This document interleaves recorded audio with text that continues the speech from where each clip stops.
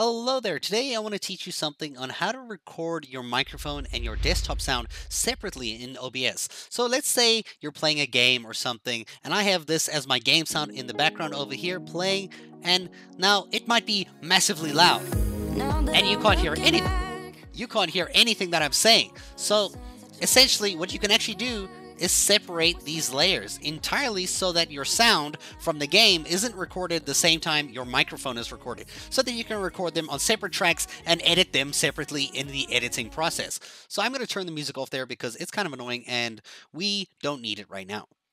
So in OBS, the settings that you're going to need to do is we're going to go straight up to the actual settings, just straight to the settings here. We're going to go to output. You're going to make sure it's on advanced output editing mode over here. So make sure it's on advanced. Go to recording and on recording, you want to make sure you have track one and two enabled.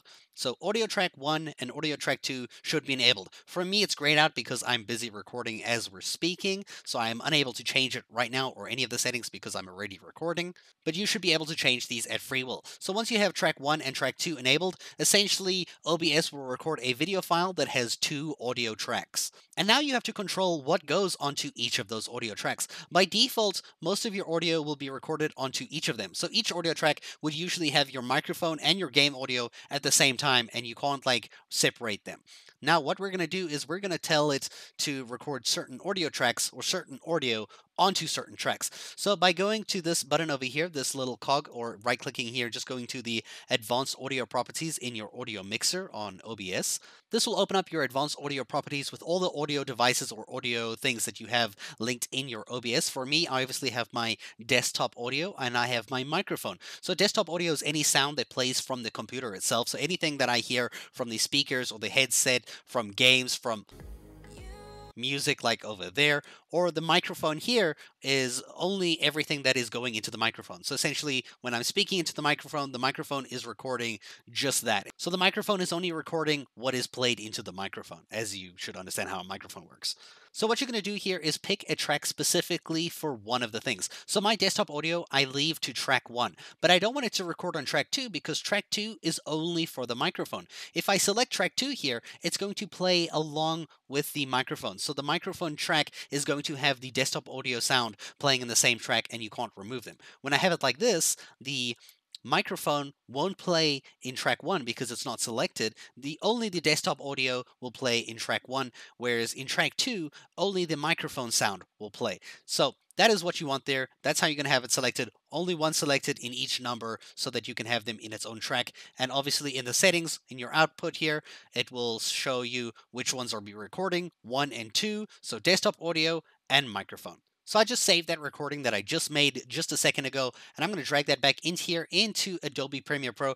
Now you'll see here, there is three different lines of stuff here. So we have our visual one, which is the video that we recorded, which is obviously my screen, and we have two audio layers or tracks, as you can call them here. So you can see the bottom one over here, if I go unselect, unlink this one here. So the bottom one here is just my microphone. That is everything that I was saying, and everything in this track over here is everything that the computer made into sound. So that was like the music, for example. So if I play this here for a second, just to give you an idea, all my volumes here are set to normal, so I can show you how this plays. This was how it was recorded, and probably how you heard it the first time. Sound in the background over here playing, and now it might be massively loud.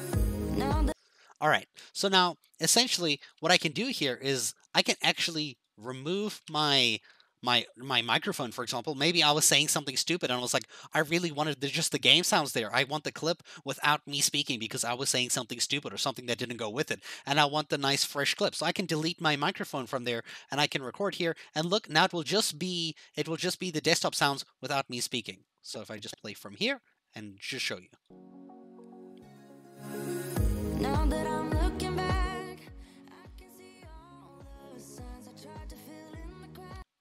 Now, essentially, what I can do is the opposite as well. Let's say I said something cool in the microphone and I was like, damn, that was really cool.